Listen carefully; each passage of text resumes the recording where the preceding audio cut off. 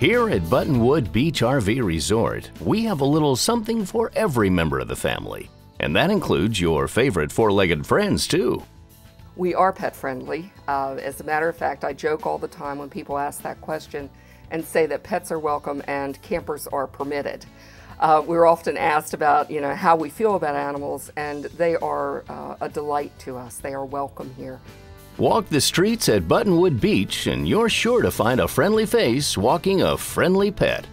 Stop by Buttonwood Beach's dog walk areas and you'll have a chance to see man's best friend doing their favorite things.